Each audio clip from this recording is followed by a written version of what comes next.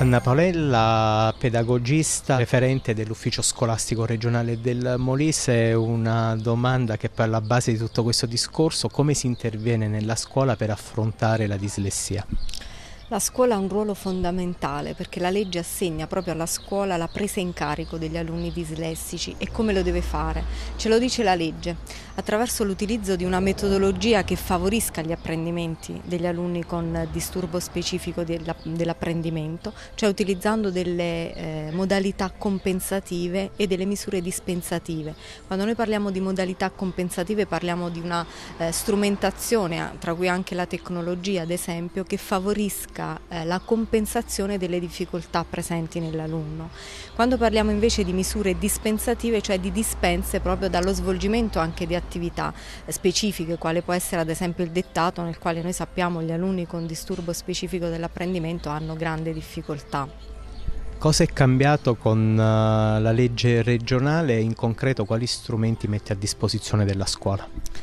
Devo dire che la legge regionale è una legge molto completa, forse per certi aspetti è una legge più completa di quella nazionale perché determina la tutela della persona con disturbo specifico dell'apprendimento non solo in ambito scolastico ma ad esempio anche nell'ambito lavorativo, ad esempio nei, nei concorsi pubblici a livello regionale e eh, determina appunto per l'alunno con disturbo specifico di apprendimento un diritto ulteriore, quello di avere un percorso che sia di apprendimento o che sia professionale, eh, che sia rispondente alle sue possibilità e che quindi non determini un ostacolo proprio eh, in quanto ha delle difficoltà già in partenza. Tornando a scuola e volendo fare dei casi concreti, quando ci si trova davanti a un alunno dislessico, in che modo si interviene?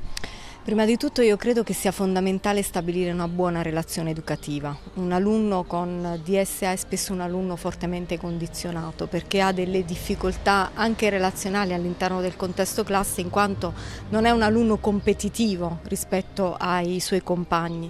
Quindi stabilire una buona relazione docente-studente, una buona relazione all'interno del gruppo classe e poi favorire anche l'acquisizione di eh, strategie metodologiche, piccoli trucchi se vogliamo che possano possano permettergli di acquisire contenuti di apprendimento che sono uguali ai contenuti che acquisiscono i suoi compagni, ma attraverso un percorso che sia più, eh, gli sia più congeniale. Franca Di Marco, psicologa, per affrontare la dislessia c'è un'arma in più, la legge 170, cos'è? Allora, è una legge che tutela i bambini dislessici, cioè i bambini che hanno una diagnosi eh, di DSA, di disturbo specifico dell'apprendimento, eh, attraverso un piano didattico personalizzato dove vengono scelti gli strumenti didattici da utilizzare con questi bambini. Una legge questa nazionale, sì. poi qui in Molise invece ce n'è una sì. regionale più specifica, cosa dà di più? Eh, diciamo che qui in Molise eh, siete stati antesignani perché la vostra è precedente a quella nazionale e mentre quella nazionale è rivolta più all'ambito scolastico, la vostra invece eh, allarga il suo raggio d'azione anche per esempio alle famiglie e quindi cerca di coinvolgere il territorio. Lei si occupa anche di campus, cosa si fa in concreto in questi campus dove vengono organizzati? Alcuni sappiamo anche qui in Molise. Sì.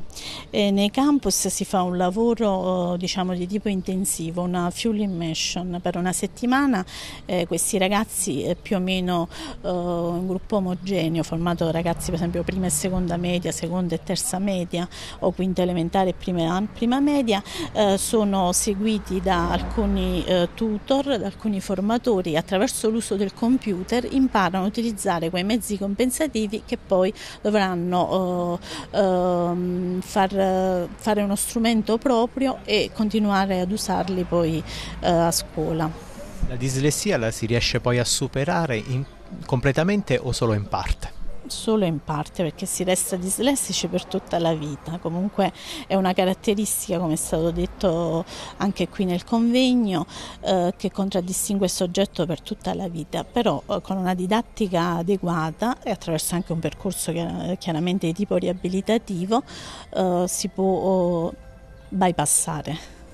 Quindi insomma fare una vita normale. Certo perché sono eh, ragazzi intelligenti e dotati anzi di ottime capacità di tipo creativo, manipolativo, eh, spesso anche sono molto bravi nello sport, nell'arte, nella musica. Ecco, sono parole molto importanti, era proprio per sfatare dei, dei tabù, insomma ci sono dei luoghi comuni che effettivamente non sempre trovano riscontro nella realtà, insomma una persona dislessica è una persona assolutamente normale. Assolutamente normale.